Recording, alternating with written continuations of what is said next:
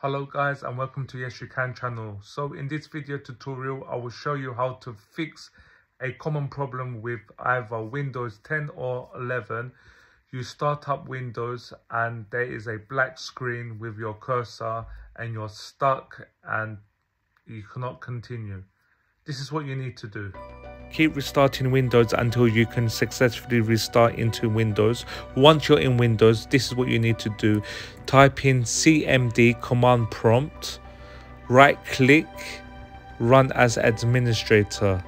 Yes. Now I want you to type in this command. What this command does, it disables fast startup which is the main problem in this scenario where you get a black screen with a cursor. This also disables the hibernation files, which are the main known problems to this error.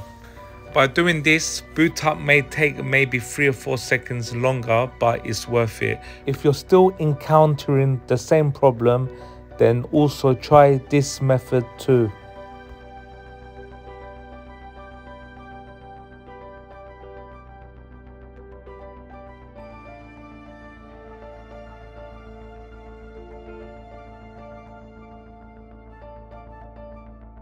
Please like and subscribe to the channel. Please check out my other videos too. I will catch you in the next one.